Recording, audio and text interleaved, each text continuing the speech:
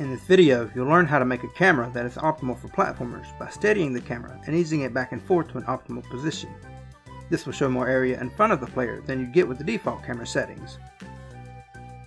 Howdy, and welcome to Game Endeavor. Recently, we covered basic 2D camera functionality in Godot.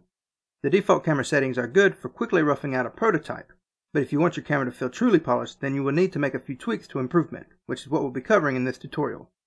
Let's go ahead and get started. For my project, I already have a camera attached to my player. The camera has a script where we'll be writing all of our code, and a tween named ShiftTween which we will be using later. To get started, we want to steady the camera whenever the player isn't grounded. This will make it easier for them to perform their landing because the camera will be steady during the jump. It also keeps the ground more visible during the jump and prevents the bobbing up and down that you'd see otherwise. We'll start off inside of the player controller. Our goal is to tell the camera whenever our grounded state has changed. We need to keep track of whether we were previously grounded or not, so we're going to create a class variable named isGrounded. Then we'll go down to our physics process method after we've made a call to move and slide. We want to know what isGrounded was before we update it, so we'll create a variable named wasGrounded and set it to isGrounded. Then we'll update isGrounded by setting it to the result of isOnFloor, and with these two, we can check to see if our grounded state has changed, which we'll do with an if statement checking if was grounded equals null or if is grounded is not equal to was grounded. This is where we want to alert the camera that our grounding has changed, which we're going to do with a signal. So we'll head back up top and create a signal named grounded updated. And this signal will pass the variable is grounded along with it.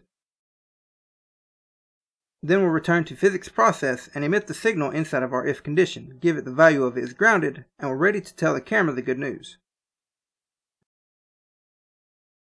We'll connect our new signal to the camera, having it auto-generate everything for us, and we're ready to handle the steadying logic. The general idea is that we're going to manipulate the drag margins in such a way that the camera doesn't move vertically whenever the player jumps. I find that there are two decent ways of doing this. Either we can adjust the size of the margins so that the player has more screen space vertically while in air, or we can set the drag margins large enough initially and then disable them whenever the player is grounded. This will have the effect of keeping the player centered vertically on the screen when grounded. This tutorial I will be doing the latter, so I will go ahead and adjust my top drag margin to 0.75. And inside of the function created by the signal, we'll set drag margin V enabled equal to not is grounded. And already you can start to see this work. However, if you don't have smoothing enabled, then you will notice that the camera instantly snaps back to its position when the vertical drag margin is disabled. To fix this, we need to make sure we have smoothing enabled. Now we want to fix the issue where the center of the camera is behind the player. This is generally due to the drag margins or the horizontal axis allowing us to wander away from the center of the screen, or smoothing has caused the camera's position to lag behind our player. Thankfully, the drag margins are relative to the camera's position. This means that we can place the camera in front of the player and it will fix the issue because the drag margins only care about its position, not the position of what it's following. However, as you're skipping along and enjoying your lovely new camera, Mama Bear calls out to you for some porridge, so suddenly you have to turn back. Now the camera is behind you again, and you're actually worse off than you were before. So let's go back into our script and fix this. To be able to check for camera movement, we first need to know what the previous position was. So we'll create an onReady variable named previous camera position, and we'll set it equal to the method getCameraPosition. This method returns the position of the camera with the margins accounted for, but not adjusted by the offset. This is perfect for us because in my first video, I used the offset to perform screen shake, so getting the absolute position of the camera will not work here. In most platformers, the camera is going to change position as the player progresses through the level, so we're going to need to update this value frequently. We'll create a process method, and in this method we'll set previous camera position equal to get camera position. And now that we know the camera's position every tick, we'll need to make a call to the method check facing before setting the previous camera position. Check facing is a function we'll need to create ourselves, which we're going to do now. Inside of check facing, we want to detect if the camera has moved. We'll declare a variable called new facing and set it equal to the sign of getCameraPosition.x minus previous cameraPosition.x. This will set new facing equal to negative 1 if the camera moves left, 0 if it doesn't move, and 1 if it moves to the right. Now we just need to know what our previous facing was, so we'll create a variable outside of this function named facing and set it equal to 0. We'll make an if statement checking if new facing does not equal 0 and facing does not equal new facing, meaning the camera has moved and in a different direction than before, then we'll set facing to new facing, and then we'll create a variable named target offset.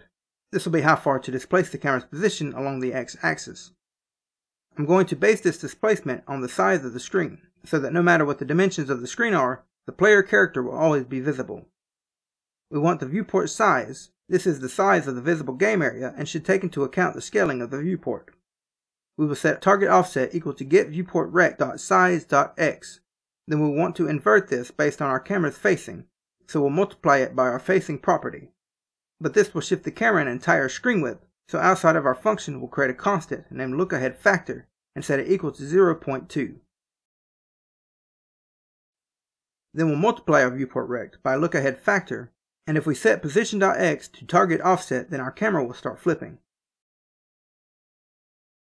You will notice, however, that this camera movement is way too extreme and a little jarring. Recall the tween that I mentioned at the start of the video. Let's go ahead and put it to use. But before we do, we'll declare a few variables first. Personally, I like to store my tween's transition and easing inside of a constant, so that they're proudly displayed at the top of the script. So we'll create a constant named shiftTrans and set it equal to tween.transsine. This will dictate the fill of your shift, so experiment and pick which transition you prefer. We want the easing to start right away, but then slowly come to a stop at its resting point. So we'll create a constant named shift ease and set it equal to tween.easeout. And we also want to set the duration of our tween, so we'll create another constant and name it shift duration, and I'll set mine to 1.0 seconds. Keep in mind that we have smoothing on our camera, so the tweening will not be exact, but it will still have a major impact on the feel of the camera. And quickly, I'll cache the tween in an onReady variable named tween. We'll return to our script, remove where we hard set the position, and set up our tween by calling the interpolate property method. We'll give it self as the node. We're going to be tweening this position along the x-axis. To do this, we need to give it the string position colon x. Then we'll give it the current position dot x as the starting value. Target offset will be the end value.